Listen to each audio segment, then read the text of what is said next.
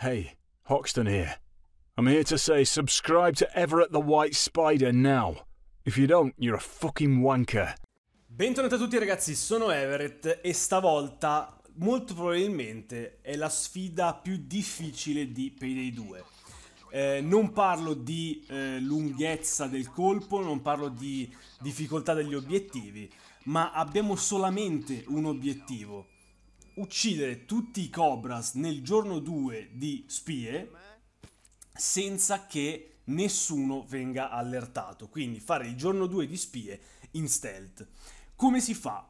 Eh, le armi consigliate da me o comunque da qualsiasi altro Icer che l'ha fatto sono il Judge e il Thanatos. Avete già visto benissimo il perché. Eh, ci sono più o meno dai 22 ai 30 eh, Cobras, che sono questi gangster eh, nella mappa. E proprio bisogna fare attenzione che nessuno di questi eh, arrivi ad avere il punto esclamativo sopra la testa. Perché? Perché se no scatta direttamente l'allarme. Anche perché questo non è, ragazzi, un eh, giorno che si può fare in stealth. Non è studiato per lo stealth. Però tramite eh, che l'hanno fatto, che sono riusciti a farlo, eh, potremo provare, o meglio, potrete provare anche voi eh, l'ebbrezza di fare questo colpo in stealth. Eh, ovviamente è difficilissimo, eh, come vi ho detto già dall'inizio del, del colpo, eh, ed è ancora più difficile se, lo, se, lo, si fa da soli. Se lo si fa da soli è veramente eh, pazzesca la, eh, il livello di difficoltà, il coefficiente di difficoltà.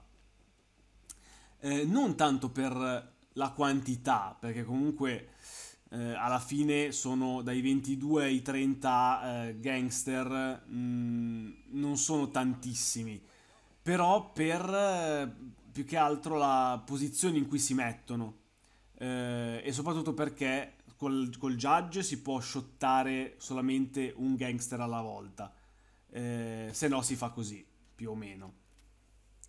Se invece ce ne sono 4 in fila come in questo momento, eh, il Thanatos fa per voi. Però attenzione, dovete centrare esattamente come adesso il buco in cui eh, ucciderli tutti e quattro consecutivamente, o meglio, contemporaneamente, perché consecutivamente non andrebbe bene. Quindi, eh, ragazzi, io vi faccio vedere come appunto ho fatto il colpo e vi faccio anche vedere che ehm, abbiamo un piccolo aiuto da parte del gioco. Eh, non succede sempre, a me è successo in questa che, è, che, state vedendo, è la seconda run che sto facendo, perché la prima è successo questo.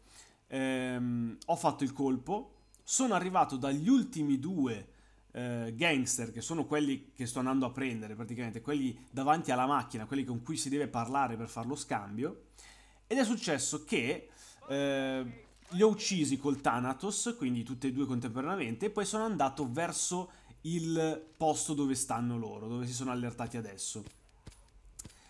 La prima volta è successo che li ho uccisi, sono andato lì ed è scattato l'allarme.